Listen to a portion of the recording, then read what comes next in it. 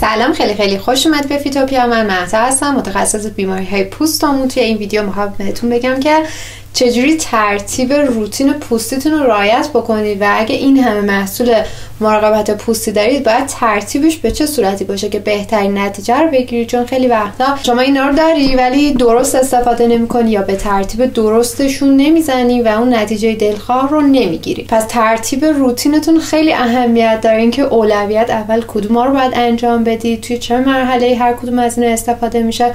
چون باعث میشه که بهترین تاثیر و نتیجه که باید رو از این محصولات بگیرید. اگه تازه به channel من اومدید یه عالمه ویدیو در مورد روتین پوستی روتین پوستی اقتصادی تیرگی بدن لیزر بوتاکس همه اینا داریم که توی ویدیوهای قبلی می‌تونید ببینید. لینکشون رو اینجا هم براتون می‌ذارم. بریم سراغ ترتیب روتین پوستی.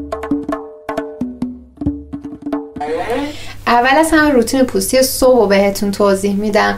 چون همونطور که می‌دونید بهتره که یه روتین پوستی برای صبحتون داشته باشید و یه دونه روتین پوستی برای شبتون قبل از خواب. روتین پوستی صبحتون بعد از اینکه بیدار میشید شروع میشه. اولین مرحله استفاده کردن از یه دونه شوینده مناسب برای پوستتونه. که اگه پوستتون چرب از شوینده های پوست چرب استفاده بکنید اگه شوینده پوست حساس می‌خواید تهیه بکنید اگه صورتتون قرمزی داره یا پوست پوسته شده از می‌تونید از شوینده های پوست خشک استفاده بکنید و این بخش میشه شوینده دلخواهتون. بهتره که علاوه بر آب از این شوینده مناسب استفاده بکنید ممکن بگید که خب من شب صورتمو میشورم میخوابم ولی صبح که بیدار میشید همون سایشی که بالش داشته آلودگی که توی محیط بوده و حتی ترشح همون سبم و چربی پوستتون بهتر که با شوینده پاک بشه چون مراحل بعدی روتین پوستیتون رو که می‌خواد استفاده بکنید بهترین نتیجه رو بگیرید ازش. پس اول از همه شد شوینده. دومین مرحله که باید استفاده بکنید اینه که اگر تونر دارید از تونر استفاده بکنید تونر در واقع میاد پهاش پوست شما رو نرمال می‌کنه و مخصوصا اگه پوست چربی دارید بهتر که از یه تونر استفاده بکنید چون ترشح اون سبم و چربی رو می‌تونه کنترل بکنه. پس مرحله تونر بعد از شوینده هستش و اینو بدونید که اگه خوب صورتتون رو بشورید احتیاجی به تونر ندارید. اما اگه پوست چربی دارید یا اینکه نه فکر می‌کنید بعد از اینکه از شویندهتون هم استفاده کردید باز احتیاج دارید که یه چیزی به صورتتون بزنید. مثلا اگه آرایش می‌کنید تونر می‌تونه یه بیس خوبی برای آرایشتون هم باشه که آرایشتون رو بهتر نشون بده شادابتر باشه. پس اولین مرحله شد شوینده دومی شد تونر سومین مرحله میشه تریتمنت یعنی چیزی که درمانی هستش. مثلا چی؟ مثلا استفاده کردن از سرم های ویتامین C که ویتامین C به صورت موضعی می‌تونه باعث شفافتر شدن پوست بشه کلاژن سازی یکم بهتر بکنه. اون چروک های سطحی که داریم یکم بهتر بکنه و تیرگی رو شفافتر بکنه. پس بعد از این که شما از شوینده استفاده کردید تونرتون رو زدید. بعد میرید از ویتامین C استفاده می‌کنید و بعدش مرحله moisturizing و مرطوب کننده آبرسان هستش که برای بهتر که برای صورتتون از مرطوب کننده های مخصوص صورت استفاده بکنید که حالا این مرطوب کننده هم دقیقا همونجوریه یعنی اگه پوست چربی دارید باید از مرطوب کننده مخصوص پوست های چرب که فاقد چربی هست استفاده بکنید. و اگه پوست های خشکی دارید از مرطوب کننده های پوست خشک استفاده بکنید که یکم مقدار بیشتر هستش. مرحله بعدی از آبرسان ها استفاده کردن از کرم دور چشم هستش که شما بعد از اینکه نرم کننده یا مرطوب کننده رو به کل صورتتون زدید از کرم دور چشم استفاده می‌کنید که خیلی بهتر که از کرم دور چشمی استفاده بکنید که SPF هم داشته باشه و به عنوان یک ضد آفتاب هم عمل بکنه. که برند ساین اسکین یا لافارر کرم دور چشمی که SPF داشته باشن رو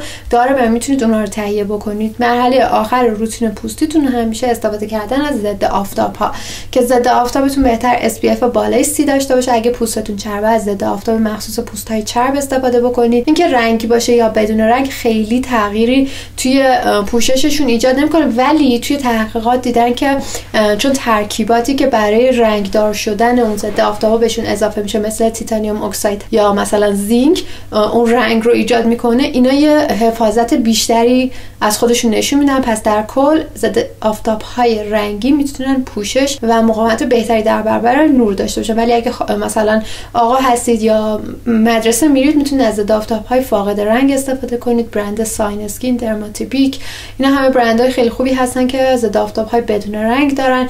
ضد آفتابتون بهتر که علاوه بر UVB که حالا همون SPF هستش که بالای سیه UVA رو هم پوشش بده. که UVA با plus یا علامت به علاوه روی ضد آفتاب ها مشخص میشه. بهتر از ضد آفتاب استفاده کنید که مثلا 3 plus باشه که UVA رو هم پوشش بده. این چهار تا نکته اصلی توی انتخاب کردن ضد آفتابتون و ضد آفتاب که استفاده می‌کنید خیلی مهمه که هر سه ساعت هم تمدید بشه. یعنی مهمتر از این که چه برندی استفاده می‌کنید اینه که درست استفاده بکنید ضد آفتابتون رو. هر سه چهار ساعت بهتر که تمدید بشه و 15 دقیقه قبل از اینکه بیرون برید بهتر که به پوستتون زده باشید. حالا از من می‌پرسید که وقتی که مضاد آفتابمون استفاده می‌کنیم مثلا میریم مدرسه یا میریم سر کار چجوری تمدیدش بکنیم؟ اگر که شما توی محیط آلوده بودی و امکان شستن پوستتون رو دارید بهتره که تو صورتتون رو بشوری بعد ضد آفتاب بزنید ولی اگه توی محیطی بودی که خیلی آلودگی روی صورتت نشسته یا امکانش رو ندارید روی همون می‌تونید ضد آفتابتون رو تمدید بکنید. و اینم بهتون بگم که شما خیلی راحت می‌تونید از ضد آفتاب های رنگی استفاده کنید که دیگه احتیاج به کرم پودر نباشه. ضد آفتاب درموبای درموتیپیک اینا برند خیلی خوبی هستن که کاور و پوشش دهی خیلی خوبی داره برند سی بی که قیمتشون هم تقریبا مناسبه و دیگه شما احتیاج به کرم پودر پیدا نمی کنید خب حالا این روتین صبحتون شد. پس شما هر چند مرحله ای که دارید توی همین خلاصه میشه و این ترتیب کلیش هستش که باید استفاده بکنید. توی مرحله شب خب اولین مرحله باز همون شوینده میشه. شوینده مناسب پوستتون مخصوصا اینکه بعد از یک روزی که صورتتون بیرون رفتید آلودگی هوا همه این چیزا تاثیر داره روی منفذ پوستتون ترشح چربی که خودتون داشتید عرق کردید و با شوینده خیلی خوب می‌تونید همه اینا رو از روی پوستتون بردارید. بعد حالا بعضی از شوینده ها خودشون براش دارن که با این براش می‌تونید صورتتون بشورید می‌تونید با دست بشورید. خیلی تفاوت خاصی نداره. فقط اینکه اگه براش دارید هر چند وقت یه بار بهتر که براشتون رو تمیز بکنید یا عوضش بکنید. چون خود براش می‌تونه یه منبع باکتری و آلودگی باشه. توی مرحله بعدی باز می‌تونید از تونر استفاده بکنید. ولی تونر گفتم ضروری نیست. همه احتیاج به تونر ندارن. اگه خودتون حس بهتری باهاش پیدا می‌کنید یا اینکه پوست چربی دارید می‌تونید از تونر استفاده کنید مرحله بعدی میشه مرحله پاکسازی یا scrub کردن یا لایه برداری که این میشه در واقع یه مرحله قوی تر از cleaning کردن یا شستن عادی که این مرحله الزامی نیست برای همه.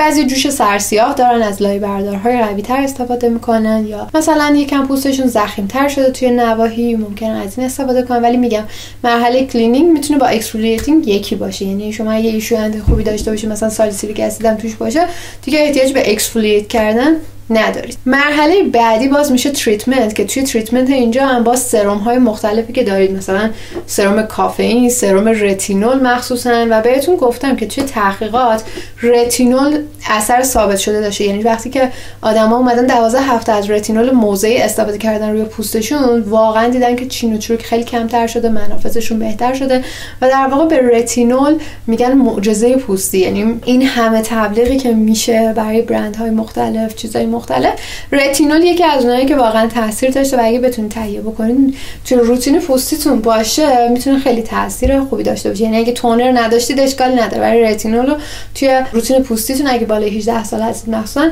جای بدید پس توی مرحله تریتمنت اگر که حالا ویتامین C دارید استفاده می‌کنید رتینول استفاده می‌کنید کرم AHA استفاده می‌کنید که یه لایه برداری خفیف دارن انجام میدن. یکم کمک می‌کنن به روشن شدن پوست و جوانسازی صورت.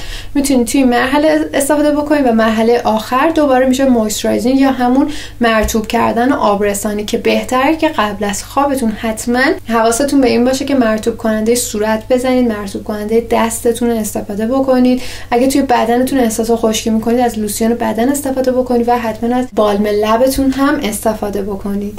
مرسی که با من بودید. این ترتیب کلی هستش که شما برای محصولات پوستی بهش احتیاج دارید چون خیلی وقتا ما محصولات پوستی که برای بیمارامون تجویز می‌کنیم خیلی سوال براشون پیش میاد که خب مثلا کدوم زیر کدوم بزنم؟ بعد اینو روش بزنم. چقدر بگذره؟ همون وقتی که محصولات رو به ترتیب استفاده می‌کنید یکی دو دقیقه فاصله بینشون باشه یعنی اون دیگه جذب پوستتون شده باشه می‌تونید مرحله بعدی رو اجرا بکنید و هیچ مشکلی نداره. اگه سوالی داشتید حتما توی کامنت ها بپرسید. من همه کامنت ها رو جواب میدم. ویدیوهای قبلی رو حتما ببینید. و اینکه subscribe یادتون نره ما هر هفته دو تا ویدیو جدید داریم تا ویدیوی بعد.